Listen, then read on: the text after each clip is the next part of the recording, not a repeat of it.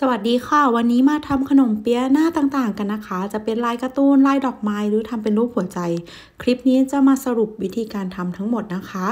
โดยในการทำขนมเปี๊ยะเนี่ยก็จะมี 2 แบบจะเป็นขนมเปี๊ยะกุหลาบ และขนมเปี๊ยะหัวเม่ง ซึ่งวิธีการทำนะคะ ก็เดี๋ยวในส่วนของแป้งเดี๋ยวจะทำคลิปแยกไว้ค่ะ เพราะไม่งั้นคลิปจะยาว เราจะเตรียมแป้งชั้นนอกและก็แป้งชั้นในนะคะสำหรับขนมเปี๊ยะกุหลาบก็คือเป็นวิธีนี้ค่ะ ก็จะใช้น้ำหนักแป้งชั้นนอกที่ประมาณ 40 กรัม แป้งชั้นในอยู่ที่ประมาณ 13-14 กรัมนะคะ จากนั้นก็นำเอาแป้งชั้นนอกมาหุ้มแป้งชั้นใน โดยวิธีการทำเดี๋ยวจะอธิบายละเอียดในคลิปของการผสมแป้งค่ะ ในส่วนของขนมเปี๊ยะหัวเมงก็จะเป็น1ใน3 ของตัวขนมเปี๊ยะกุหลาบนะคะ จะเห็นว่าปริมาณสัดส่วนก็จะลดลงมาครึ่งหนึ่งอย่างแป้งชั้นนอกก็ใช้ที่ 13 กรัม แป้งชั้นในก็ใช้ที่ประมาณ 5 กรัมค่ะ แล้วก็ นำเอาแป้งชั้นนอกห่อแป้งชั้นในเหมือนกัน แต่ว่าเขาก็จะลูกเล็กกว่า ในการทำขนมเปี๊ยะลายการ์ตูน เราจะใช้เป็นขนมเปี๊ยะหัวเม่งนะคะ เริ่มต้นเราจะมาทำในส่วนของขนมเปี๊ยะกุหลาบ ซึ่งเราจะทำเป็นดอกดอกโบตันกับหัวใจนะคะ เราก็จะทำการรีดรอบแรกนะคะ ให้ยาวประมาณคืบนึง จากนั้นก็ม้วนเข้าหาตัวค่ะ อันนี้ก็คือเป็นแป้งที่ก้อนใหญ่นะคะ ที่ใช้แป้งชั้นนอก 40 กรัม แป้งชั้นในประมาณ 14 กรัมค่ะ จากนั้นเราก็กลับด้านแล้วก็รีดให้ยาวเลยค่ะ ขั้นตอนนี้ในการที่มันเป็นชั้นมากแค่ไหนก็ขึ้นอยู่กับความบางของชั้นนี้นะคะ ก็ค่อยๆรีดค่ะ แล้วก็ม้วนเข้าหาตัวเหมือนเดิม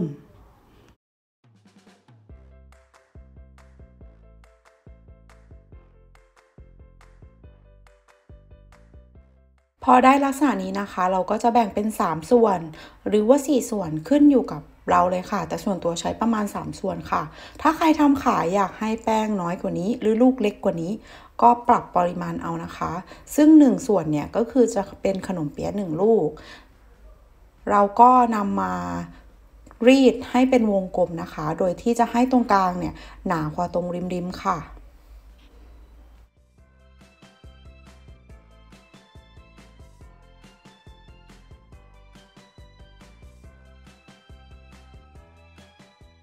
นี่นะคะก็ได้ลักษณะนี้เราก็จะนำด้านที่เรียบนะคะแล้วก็หุ้มด้วยไส้ขนมค่ะ ซึ่งไส้ขนมเนี่ยจะใช้น้ำหนักที่ประมาณ 20ถึง 23 กรัมนะคะ นี่ลักษณะนี้เลย ข้างในก็จะใส่ไข่แดงเสี้ยวเล็ก ๆ นะคะ อยู่ข้างในไส้ด้วย จากนั้นก็หุ้มไส้ให้มิดค่ะ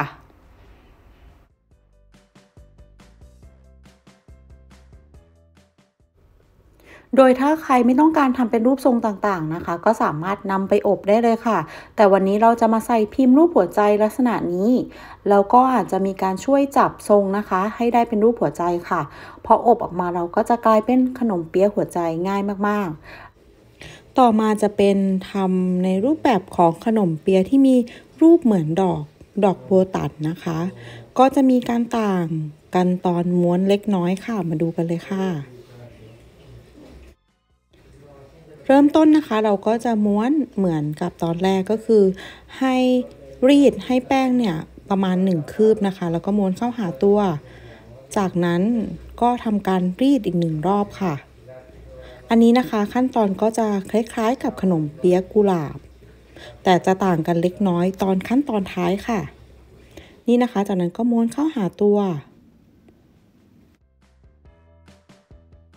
อมม้วนได้ลักษณะนี้เราก็ใช้นิ้วบีบตรงกลาง แล้วก็บีบเข้าหากันแค่นี้เองค่ะ เราก็จะมารีดเป็นวงกลมเหมือนเดิม แล้วก็จะห่อไส้นะคะ โดยขนาดของดอกไม้เนี่ยก็ขึ้นอยู่กับที่เราชอบเลยค่ะ อันนี้จะเป็นขนาดเล็กนะคะ ก็คือจะปั้นก้อนแป้งออกมาเนี่ยที่ก้อนเล็กค่ะเหมือนขนมเปี๊ยะหัวเม่ง จากนั้นก็รีด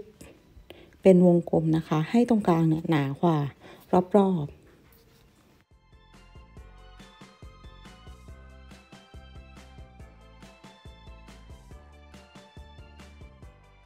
แล้วก็นำมาหุ้มไส้นะคะ โดยขนมเปี๊ยะตรงนี้นะคะ สามารถเข้าไปดูที่ playlist ได้เลยค่ะ ก็จะมีขั้นตอนละเอียดกว่านี้นะคะ อันนี้จะเป็นขั้นตอนแบบเร็วๆ สรุปทุกลวดลายมาในคลิปเดียวค่ะ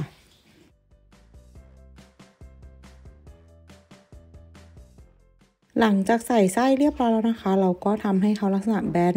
แล้วก็แบ่งเป็นกลีบๆตามนี้เลยนะคะ ก็ประมาณ 8กลีบค่ะ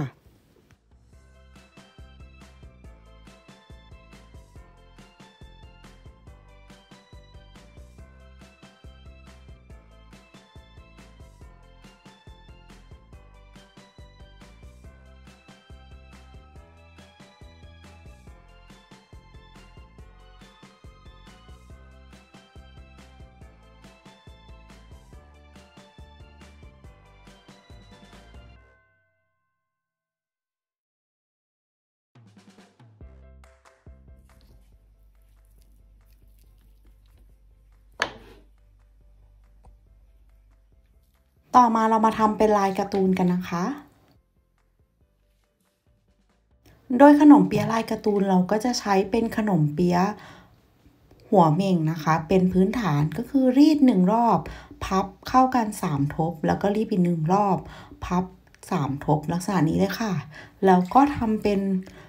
รีดให้เป็นลักษณะวงกลมนะคะ เหมือนกับขนมเปี๊ยะกุหลาบค่ะ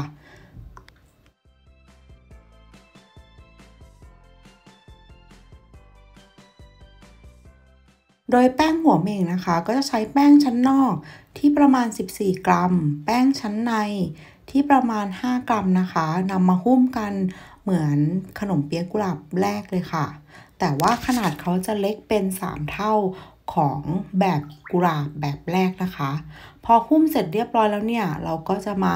สามารถทำเป็นลายการ์ตูนต่างๆได้เลย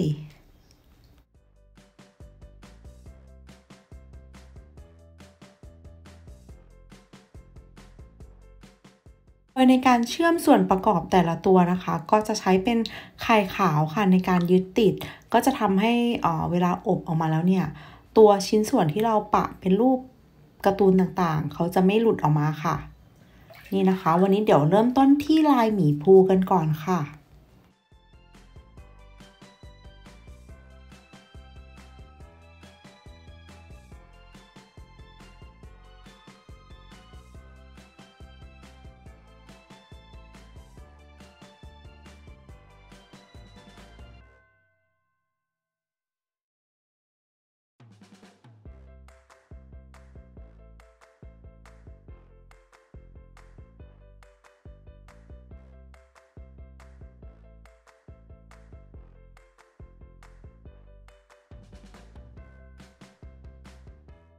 ต่อมาก็จะเป็นลายของขวัญนนะคะทำให้เขาลักษณะเป็นเหมือนกล่องสี่เหลี่ยมค่ะ แล้วก็ทำเป็นโบคาด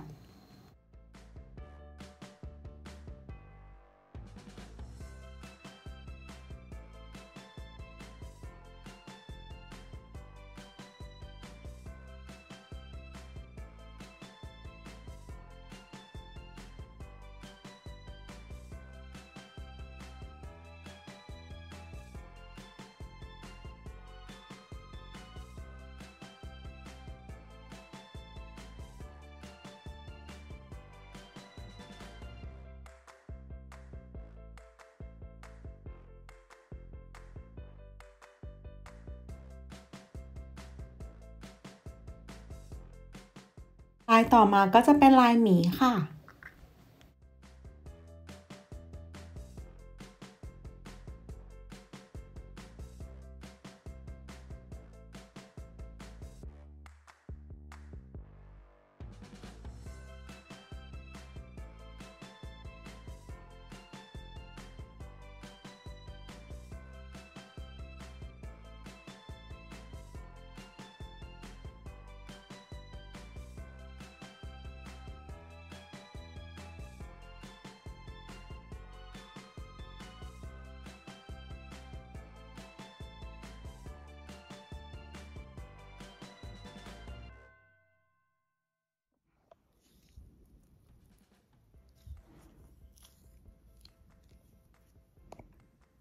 จากนั้นก็จะนำไปอบที่อุณหภูมิ 170 องศาเซลเซียส เป็นเวลา 12-15 นาทีนะคะ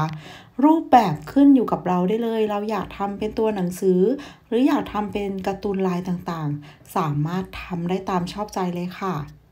จากนั้นก็นำไปอบค่ะ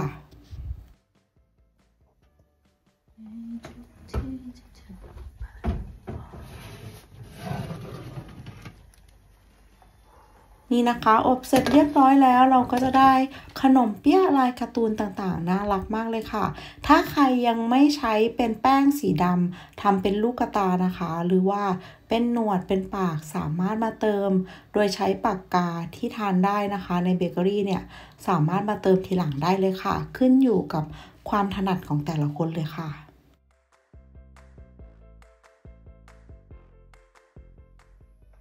นี่นะคะทั้งหมดก็เป็นการทำขนมเปี๊ยะจากครึ่งสูตรนะคะ สามารถทำได้หลากหลายลวดลายแบบนี้เลย ก็ถ้าใครต้องการที่จะทำเป็นของฝากของฝันนะคะ สามารถที่จะดูได้ในคลิปที่ทำเป็นแป้งผสมแยกค่ะ ก็จะทำให้เราเนี่ยสามารถหนึ่งสูตรทำได้หลากหลายลาย แล้วก็ออกมาสวยงามมากๆเลยค่ะ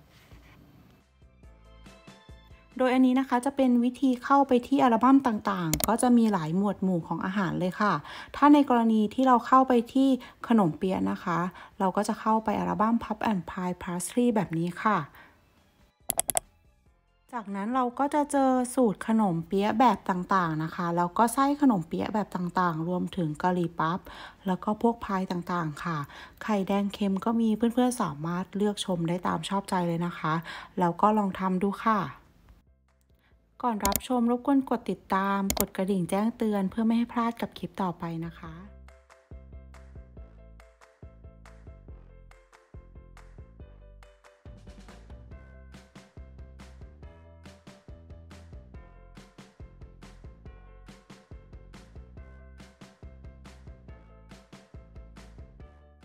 ขอบคุณทุกคนที่รับชมนะคะ ถ้าชอบคลิปนี้รบกวนกดติดตาม Subscribe กดไลค์เป็นกำลังใจให้ด้วยค่ะ แล้วพบกันใหม่กับคลิปหน้าค่ะ ขอบคุณค่ะ